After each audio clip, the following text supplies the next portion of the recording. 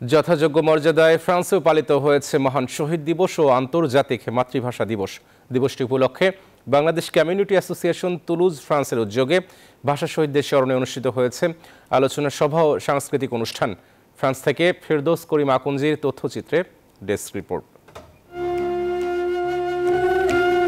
বাঙালি জাতির জীবনে শোকাবহ, গৌরবোজ্জ্বল, অহংকারে মহিমান্বিত চিরভাস্বর একুশে ফেব্রুয়ারি।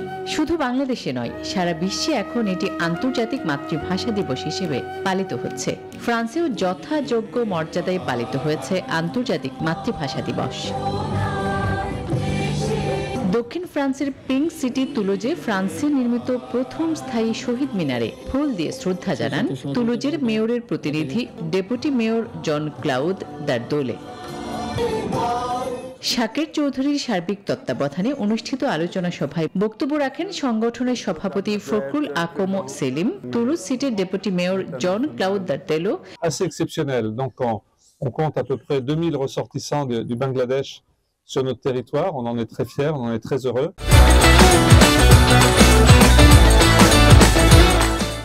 à tous les martyrs de Dakar qui ont donné leur vie pour la défense দ্বিতীয় পর্বে ছিল স্থানীয় শিল্পীদের পরিবেশনায় মনোজ্ঞ সাংস্কৃতিক অনুষ্ঠান ডেস্ক রিপোর্ট নিউজ টোয়েন্টি